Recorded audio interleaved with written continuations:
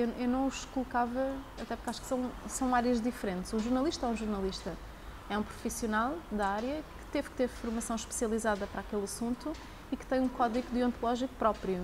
Portanto, até uma profissão com regras uh, e que tem uma especialização. Um blogger ou um vlogger, o que acontece é, são por vezes pessoas que têm um interesse por uma temática, portanto, é como se fosse um hobby, portanto, gostam de uma determinada área, tecnologia, moda, desporto, enfim, gostam de uma determinada área, é isso que os move. É a paixão pelo assunto. Portanto, não há aquela isenção que um jornalista deve ter. Não. Eles são tendencialmente tendenciosos, passa a redundância, porque na realidade estão a falar de uma paixão, de um tema que os move. Uh, e depois tornam-se, acabam por ser vistos é como especialistas, muitas vezes, perante a sua audiência, porque tal é a paixão que eles têm sobre determinado assunto. Se eu quero saber qual é a última novidade em tecnologia, já sei que se for ver o canal no YouTube daquela pessoa, vou estar a par das últimas tendências.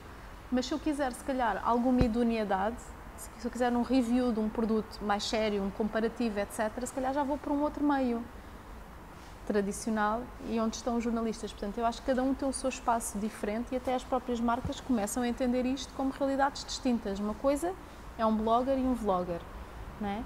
E outra coisa completamente diferente é um meio de informação tradicional. Eu acho que são áreas diferentes.